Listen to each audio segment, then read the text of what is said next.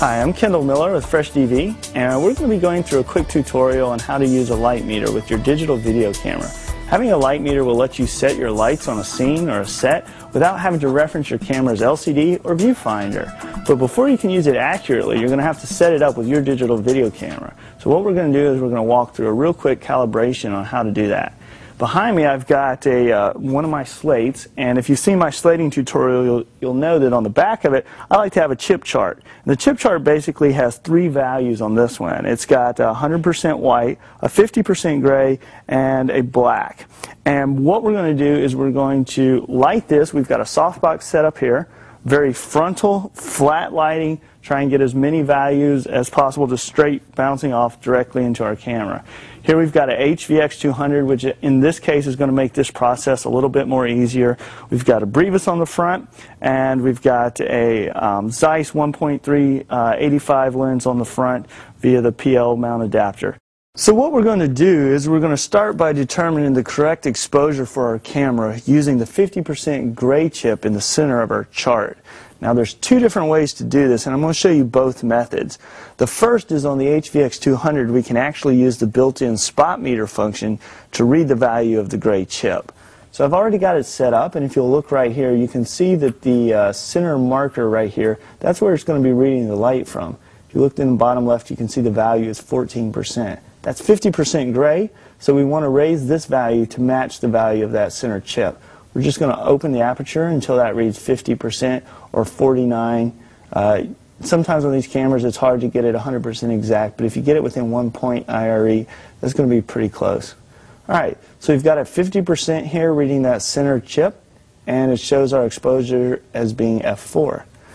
Problem is, what if you've got a camera that doesn't have a spot meter built in? Are you out of luck? Well, no, not necessarily. You can use a, a FireWire output from your digital camera into a laptop or an NLE. We're using Final Cut Pro, and you can use your scopes internally in your NLE to be able to take a correct reading as well. I'm going to show you how to do that. First of all, I'm going to roll the aperture back down. Over here on our um, laptop, uh, we've got our scopes open, and we're reading the signal through the FireWire. And you can see here we've got th our three different chips. This would be the lowest one in the chart. It's going to be your black. The middle one's going to be your gray. And your one to the furthest right is going to be your white. So using our scopes, we're going to read our measurement until we get 50% on the gray. And I'm just going to, once again, open this aperture back up real slowly. And as I do it, you're going to see the center gray chip rise up. This is the 50% mark right across here. We're looking to center that or put it slightly above that line. So I'm just going to roll it until that center chip is just above, probably somewhere along there. So that would confirm for me that I've accurately placed the exposure of that chip along the 50% mark. The next step is to just check on my camera, and I can see that it's at f4, which is the exact same exposure that we got using the spot meter on the HVX.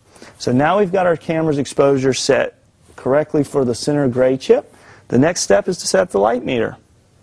To do this exercise correctly, you're going to need a light meter with cine functions. We're using the Sekonic 608 Cinemeter, and you'll need one that'll be able to handle the similar type of functions. The first thing to do is set up the functions of the light meter to match the frame rate and shutter speeds of your particular camera.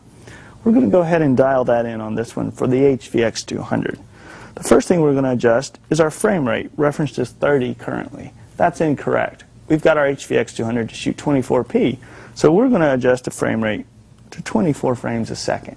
Once you have the frame rate established, the next piece of information you need is the shutter speed. The Sekonic 608 defaults to 180 degree shutter angle, which incidentally we have set up to be the exact same as our 180 degree shutter on our HVX 200. There are different frame rates and shutter angles that you can use, and you may have to consult your light meter's manual to set them up correctly with your particular camera. The next step is to take a spot meter reading using this light meter off the 50% gray. So we're just going to change it from an incident meter to a reflected spot meter, and we're going to take our reading.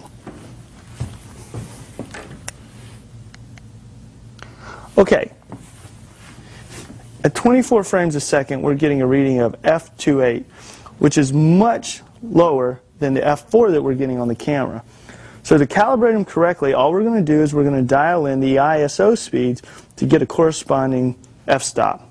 Go press ISO 1. We're just going to dial it up. Oh, and actually it's just one little change from 80 to 100 gives us a reading of F4. Once that's set up, I'm just going to double check it one more time to make 100% that it's correct by metering that center medium gray one more time. And I get F4 again. Checking my black and white values, confirmed that it falls where it should be. We've confirmed that the center gray fell back at F4 and the white and black tips fell where they should as well. Now that we've set this meter up correctly to our HVX200, we should be able to take readings anywhere in the room, and the corresponding exposure here should match our camera.